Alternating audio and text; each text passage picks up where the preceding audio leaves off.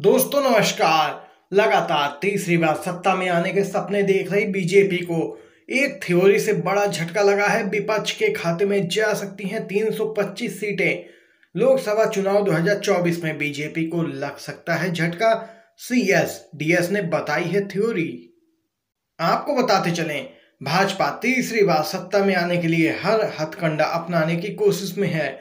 दरअसल चुनावों पर करीब से नज़र रखने वाली संस्था सी एस डी एस के आंकड़ों में सामने आया कि यदि भाजपा को छोड़कर सभी अन्य दल एक साथ होकर चुनाव लड़ें तो इन दलों को अगले लोकसभा चुनाव में आसानी से बहुमत मिल जाएगा।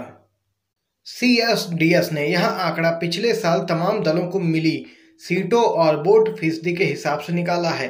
सी एस डी एस के आंकड़ों के हवाले से बताया गया कि भाजपा को छोड़कर सारी पार्टियाँ एक साथ होकर चुनाव लड़ती हैं तो बीजेपी को 230 से 240 सीटों पर ही संतोष करना पड़ सकता है, जबकि विपक्ष को 300 से लेकर 305 सीटें मिल जाएँगी।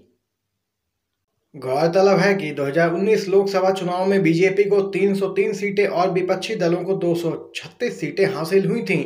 अगर सभी दल एक साथ होकर चुनाव लड़ते हैं तो यह आंकड़ा उलट हो सकता है और बीजेपी तीसरी बार सत्ता में नहीं आएगी।